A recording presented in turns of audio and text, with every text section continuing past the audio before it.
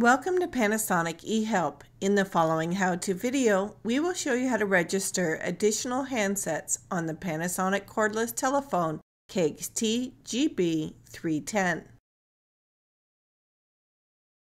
Up to six handsets can be registered to the base unit. Step 1. On the handset, press the menu button. Step 2. Enter in the Direct Programming handset registration code. Press pound sign 130. Step 3. On the base unit, press and hold the locator button for about 5 seconds. Note, if all registered handsets start ringing, the programming is not correct.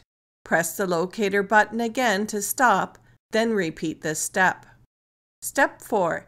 After 5 seconds, press OK on the handset and wait until a long beep sounds. The handset is now registered and the handset number appears on the screen.